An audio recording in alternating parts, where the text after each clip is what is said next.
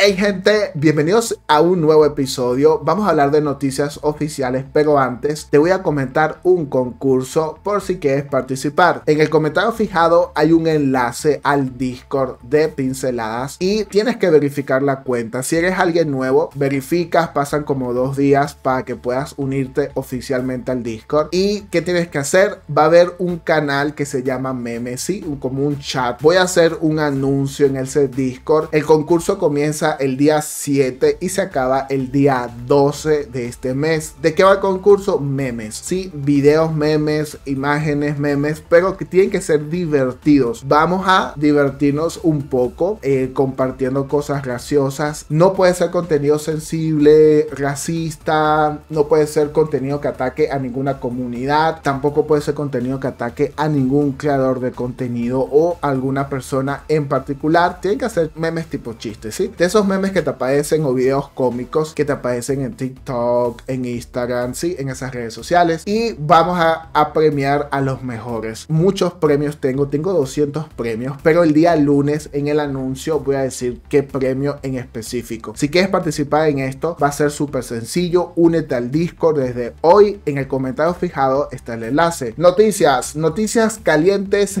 de verdad que están algunas interesantes. ¿Qué va a pasar con esto de las torretas? Todo el mundo tiene un hype, no sabe qué carajos va a pasar, porque tal parece que la comunicación últimamente con el juego está como que muy, muy dañada, uno no entiende bien qué está pasando con estos cambios, pero acá nos dicen que cada vez que ganes o compres una torreta, se va a mantener de forma segura en tu almacén, ¿sí? Es decir, no van a desaparecer cuando tú te las ganes o las compras, van a estar allí, pero aquí viene, aquí viene el, el ahora son consumibles. Carajos es eso? De verdad que esta palabra de consumibles me hace pensar en muchas cosas negativas. Pero, en fin, ¿qué va a ser? Ejemplo, tienes una torreta, le colocas, tienes una nave nodriza, le colocas la torreta y si cambias una de esas, la que ya está puesta desaparece. Queda la nueva y la vieja desaparece. Si antes la vieja se iba al almacén, ya no, esa va a desaparecer. Acá la explicación del community es que necesitan hacer esto para garantizar el control de la meta de las Mothership. Sí, fíjate que aquí me lo especifica exactamente. Equipar una torreta diferente quemará la ya instalada. Sí, desaparece. La que ya está instalada, la vieja, desaparece. En la nave nodriza, sí. Todas las demás que están en tu almacén van a seguir en tu almacén. Yo, en lo personal, pienso que esto está mal. Es un enfoque negativo. Hay mucha gente que crea contenido, que la idea de crear contenido es hacer combinaciones distintas y de verdad que esto limita a todos los creadores de contenido. Me parece algo negativo. El impacto se va a sentir. Además, yo antes usaba la Mantis, luego la Nordlight, hoy en día uso otra. Entonces, ¿qué hacía yo? Simplemente movía las torretas. Yo creo que el juego se dio cuenta que hizo lo mismo que hizo con los drones pasados, que salía un dron nuevo y tú simplemente cambiabas los microchips y ya, pues esta es la solución que se ha inventado Pixonic para obligar a la gente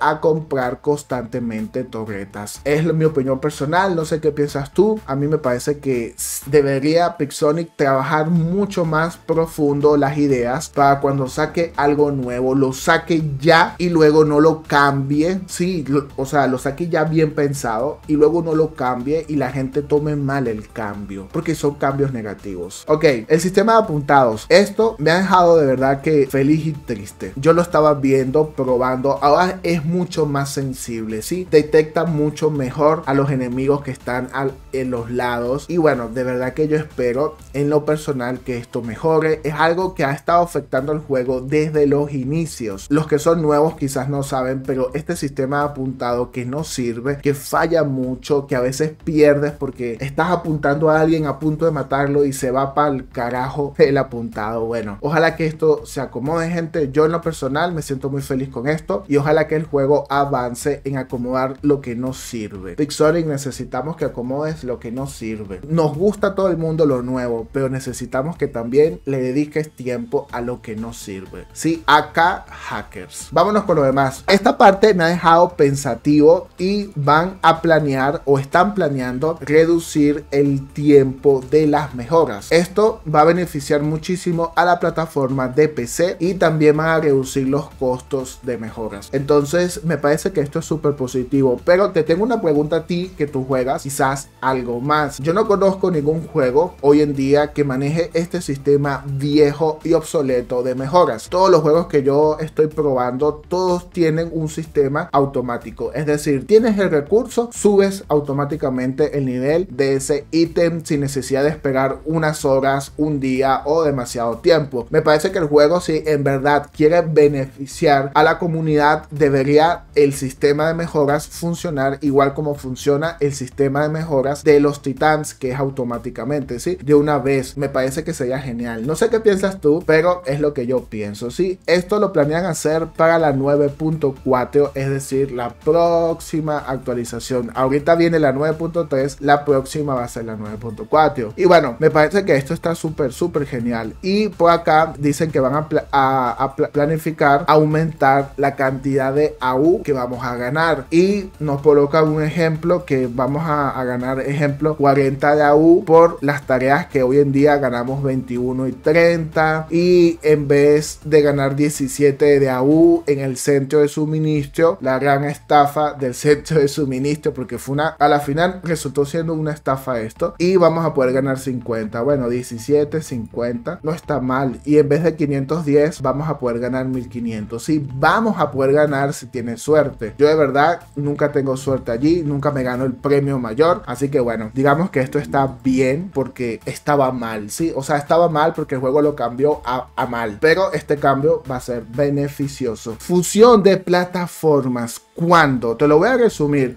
piensa en lanzarlo en este 2023. Yo de verdad que llevo escuchando esto tanto tiempo que me, me volví hasta no verlo, no creerlo, ¿sí? He escuchado mucho de estas cosas. A mí me gustaría que las acciones hablaran más fuerte que las palabras. A veces leo noticias y no veo que las acciones en verdad sucedan. Así que esto se planifica. Ellos dicen que están acá trabajando en las funciones de multiplataforma, pero ¿qué va a venir primero? Lo primero que van aquí ellos a hacer es los escuadrones multiplataforma y luego que las partidas personalizadas pueda, pueda ser también multiplataforma así para hacer quizás torneos o eventos eh, bastante chidos y que la gente pueda compartir con amigos de otra plataforma. A mí esto 20 puntos, pero yo quiero verlo ya hecho, sí, menos bla bla y más acciones. Y por acá nos mencionan algo que no sabía, pero que ya investigué. Hay una encuesta para saber qué se le puede acomodar, añadir, sí, mejorar al sistema este de escuadrones de los clanes, porque supuestamente va a venir una actualización. ¿Y por qué te digo supuestamente? Por lo mismo, esto, eh, eh,